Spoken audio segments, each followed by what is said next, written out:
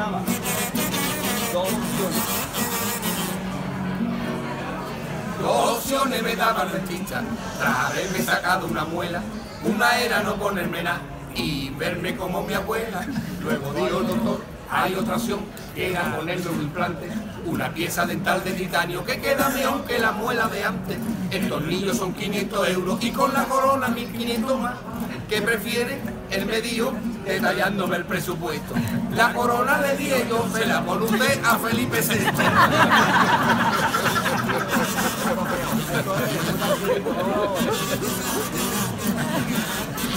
Eso es. Mi mujer que es vida. Mi mujer.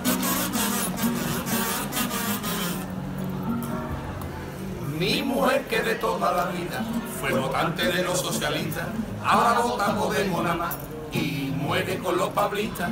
Cuando hablamos los dos de la cuestión, suelta su mitin trojista y acabamos al final moqueados porque yo defiendo a los reonistas.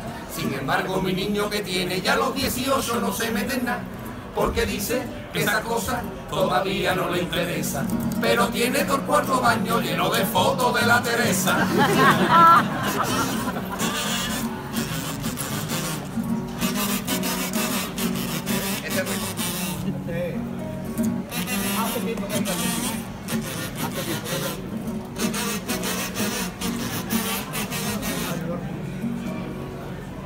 Hace tiempo que gigante chino por el fútbol español está apostando y han llegado con tanto poder que todo lo están cambiando. El dinero oriental puede comprar clubes y clubes enteros y después transformarlos en todos. Sino que pregunten a los colchoneros que no paran de manifestarse porque el nuevo dueño no respeta nada. Tras cambiarle el escudo y llamarle al estadio Wanda. Es capaz de meter un chino a Simeone a coger comanda.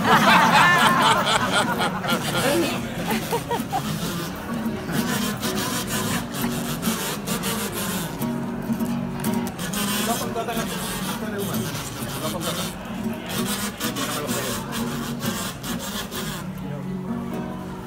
No contratan a seres humanos. Hoy en día ya los empresarios casi todos prefieren robo.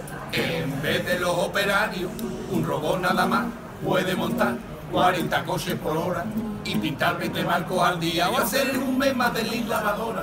Pero queda una cosa que el hombre realiza más rápido que los robots.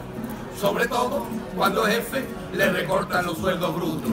Y es cagarse en su puta madre lo menos 100 veces por minuto.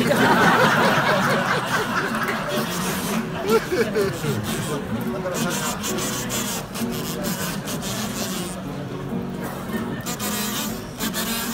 veces me pongo.